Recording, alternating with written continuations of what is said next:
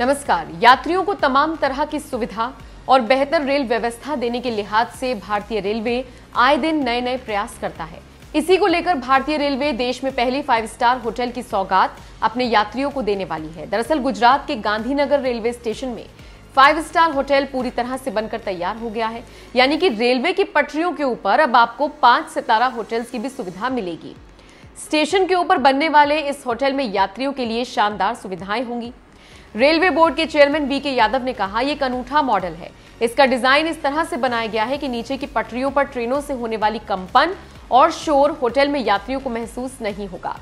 वैसे दुनिया भर में आपको रेलवे ट्रैक के ऊपर कई होटल्स आराम से दिख जाएँगे, लेकिन भारत में ये पहला प्रयोग होगा। यानी कि गांधीनगर ऐसा पहला स्टेशन होगा जहाँ पटरियों के ऊपर फाइव स्टार होटल चलेगा। वैसे आपको बता दें, गांधीनगर रेलवे स्टेशन पहले ही तमाम सुख सुविधाओं से लेस है। ऐसे में फाइव स्टार होटल का बनना इस रेलवे स्टेशन पर चार चाँद लगा रहा है। रिपोर्ट्स के मुताबिक five star hotel Leela group of hotels द्वारा चलाया जाएगा।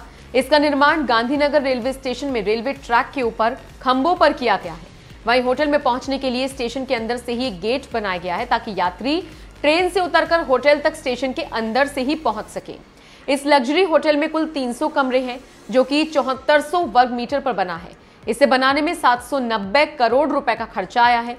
लीला ग्रुप के इस होटल में तीन टावर बनाए गए हैं, जिसके बाद गांधीनगर स्टेशन भी शहर की सबसे ऊँची इमारतों में से एक बन गया है। वैसे आपको बता दें, इस होटल की नींव 2017 में पीएम मोदी ने रखी थी, जिन्हें लेकर अक्सर कहा जाता है कि वो जिस प्रोजेक्ट की नींव रखते हैं, उसका उद्घाटन भी करते हैं। ऐसे में गुजरात सरकार ने घोषणा भी कर दी है कि प्रधानमंत्री नरेंद्र मोदी 16 जुलाई को गांधीनगर रेलवे स्टेशन के ऊपर बने एक पाँच सितारा होटल का उद्घाटन करेंगे।